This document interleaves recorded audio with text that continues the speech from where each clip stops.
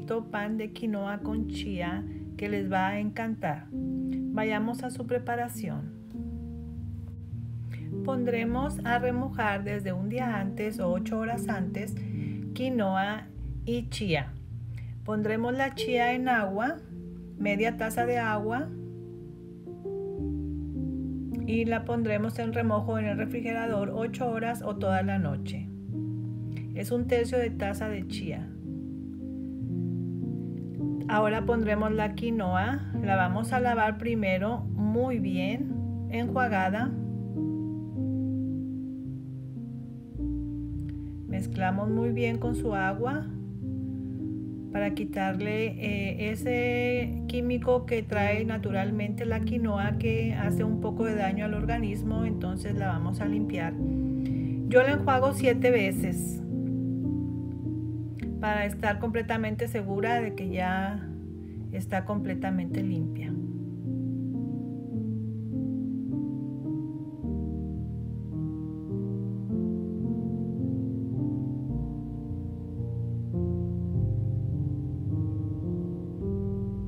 El agua la voy guardando, apartando para luego ponérsela a mis plantas.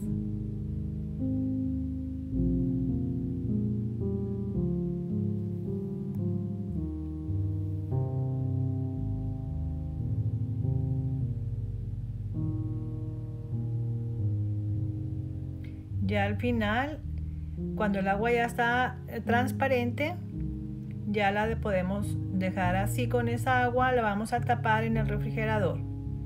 350 al día siguiente, 350 grados Fahrenheit, nuestra estufa lo preparamos.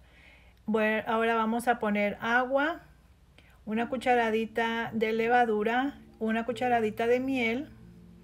Esa es media taza de agua, la mezclamos muy bien y la apartamos para que empiece a trabajar nuestra levadura. Vamos también a separar nuestro aceite de coco o de olivo o el que usted vaya a usar. Es un cuarto de taza. Estas son nuestras semillas de girasol que vamos a usar para decorar nuestro pan. Aquí ya tenemos nuestra quinoa eh, que ya pasaron 8 horas después de que la pusimos a remojar, tiramos el agua, la enjuagamos y la pusimos en la licuadora. Vamos a agregar la chía que también estaba en reposo en su agua.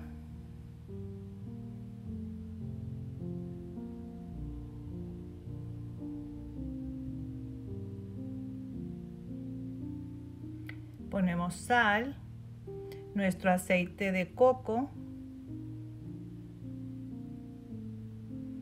la levadura que ya teníamos apartada,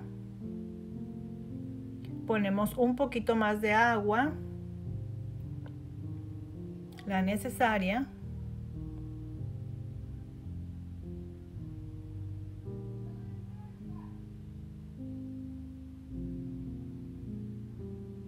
y llevaremos a moler.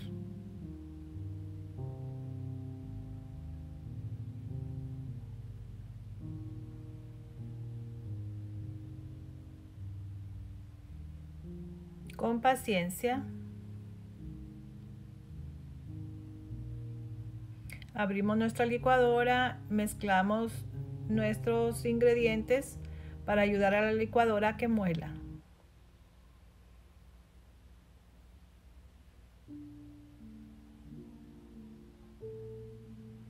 Seguimos moliendo.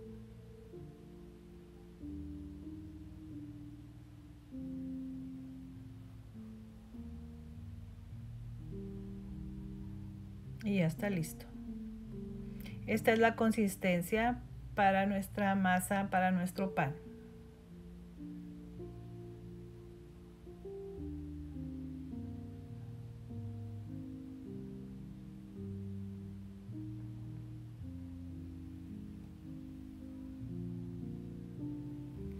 Lo llevaremos a nuestro molde engrasado, enharinado o con ese papel también para el horno con un poquito de aceite.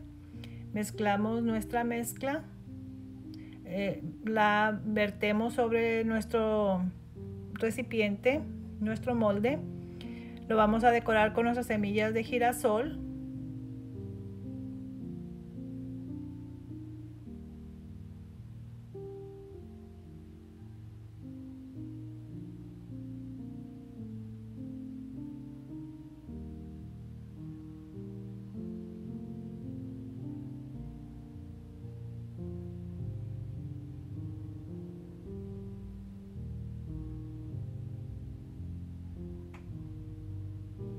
Lo llevaremos a hornear 350 Fahrenheit por una hora con una charola con agua adentro.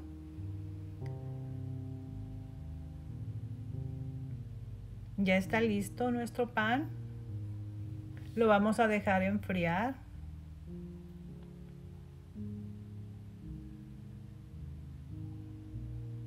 Ahí lo saqué de su molde.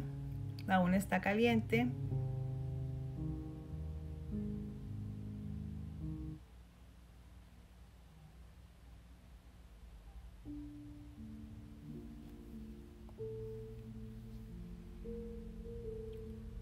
Lo dejamos reposar un rato y después procedemos a partirlo.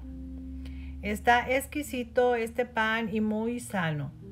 Muy nutritivo, lo puede comer con comida dulce o salada o solo también. Se puede tostar en tostador también. Espero lo prepare, lo disfrute. Si le gustan nuestros videos, por favor regálenos un like, suscríbase, toque la campanita para nuevos videos y lo esperamos en la próxima. Saludos. Bye.